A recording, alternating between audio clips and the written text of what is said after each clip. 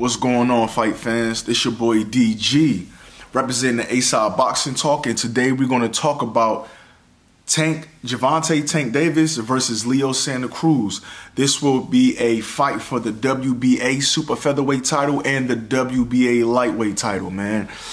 Hey, what what can I say about this fight, man? It's, it's some sparks that's going to fly, man. You got uh, Leo Santa Cruz, who is the WBA uh, super featherweight champion.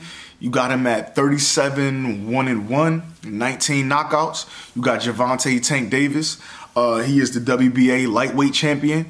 Uh, you got him coming in at 23 wins, zero losses, zero draws, and 22 by knockout. Um, See, you know, you know what, man. This is one of them fights where you, you really got to throw the book away, man. You can't, you can't really sit down and and look at numbers and analyze this fight because this fight is not going to be told between the numbers. Um, like I said, Gervonta, he got 22 knockouts. He's a slick boxer, power puncher, super aggressive. Then you got Leo Santa Cruz. Um, his whole game plan is built on stamina. He's super active in the ring, um, and he's a pressure fighter. So. Um, to be honest, my personal thoughts is that this fight is going to be won in the training camp. You understand what I'm saying? The fight is going to be won in, in, in, you know what? Before I even get to that, let me let me jump. Let me let me let me let me go back a little bit. Um, Leo Santa Cruz, his his notable fights. He got the two fights versus Carl Frampton, where they split fights. Very great fights. If you haven't uh, seen them, check them out and his two fights between uh, Abner Mares. Very good fights. Once again, you haven't seen him, check him out. Those are, in my opinion, those are Leo Santa Cruz's defining fights so far. My boy Tank, you got uh, Jose Pedraza. Remember, Jose Pedraza was like 22 and 0. Um, he beat Jose Pedraza for the lightweight championship, if I'm not mistaken. Uh, might have been a super featherweight, I'm not sure. Uh, and then you got his last fight, which was the, I believe, the 11th round knockout or 12th round knockout of Yuriorkis Gamboa. Uh, Gamboa was a little bit over the hill. Um, we knew going into that fight that Gamboa was not going to beat Tank. That was that wasn't a 50-50 fight. And if anybody felt like that, then, you know, they, they choose the sides. But we knew that wasn't a 50-50 fight. However, the Pedraza fight, you know, we thought we also seen some things out of Tank. I believe he knocked Pedraza out in seven, but um, we knew Pedraza was a tough fight. In my opinion, that was a 50-50 fight. Well, at least going into the fight, that was a 50-50 fight.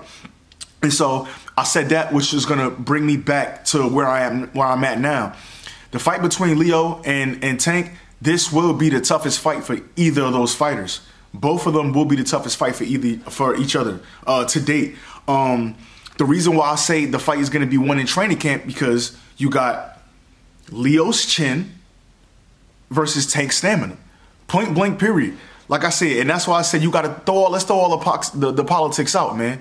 You got can Leo Santa Cruz's chin stand up to Tank's punch? Can Tank's stamina stand up to Leo's stamina and his aggressiveness and his pressure fighting style, right? Um, in my opinion, in my personal opinion, um, if this fight goes past five rounds, first of all, in my personal opinion, this fight is not going 12. Point blank, period. This fight will not go 12. We will, we will, the judges, they, they can take the day off. This, this is going to be a knockout. And I'm to tell you this if the fight is within five, I got Tank. Tank is gonna the Tank will close. If Tank is going to close this show, it's going to be within five rounds because of Leo Leo Santa Cruz's uh, pressure fighting style. He will get his chin tested early, and Leo Santa Cruz is one of those guys that he will be there for you to hit. He will be there. He's, he's not a backup guy. He's going to bring the pressure, and we know Gervonta Davis is not a backup fighter either.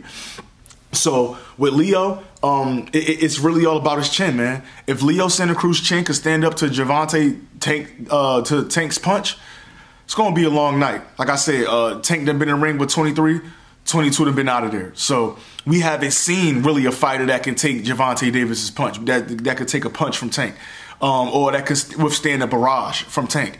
Um, but also, being honest, gotta be honest about it.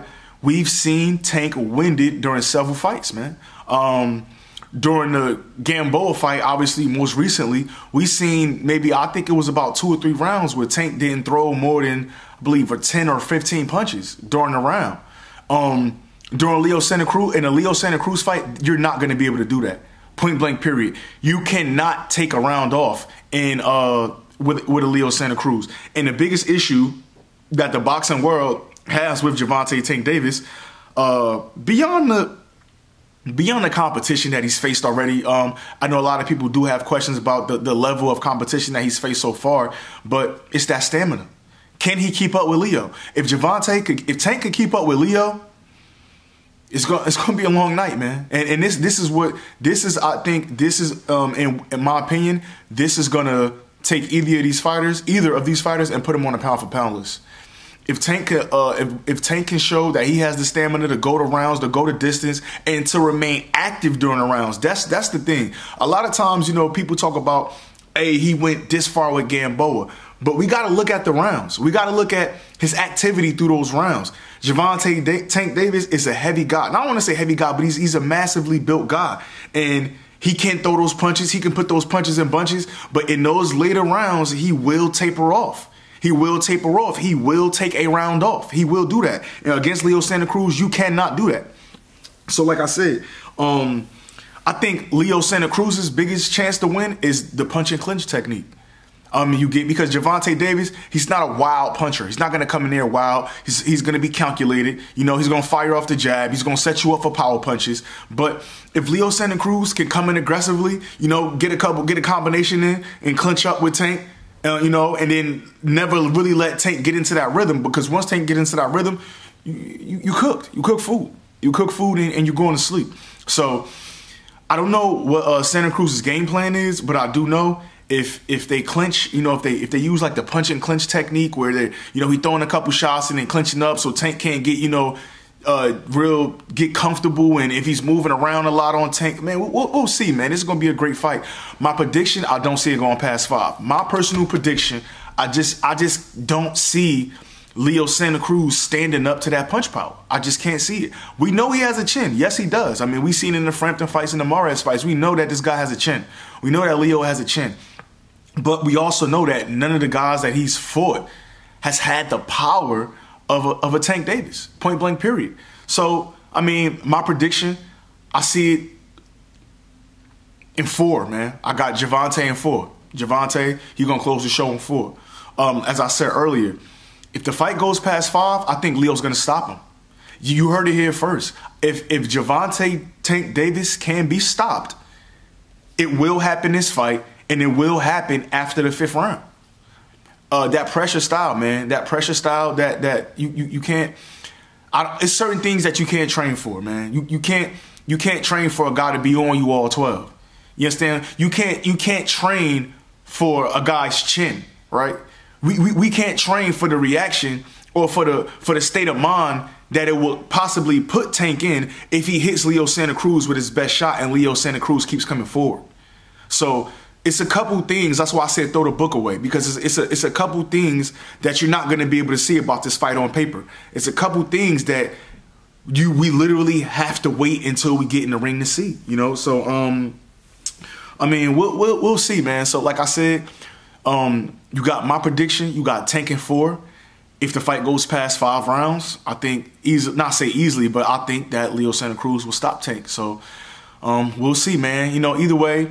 I need you guys to, you know, like, comment, subscribe, you know, tell your people about it, you know, come and check me out, man. This your boy DG with the A-Side Boxing Talk. Uh, holla.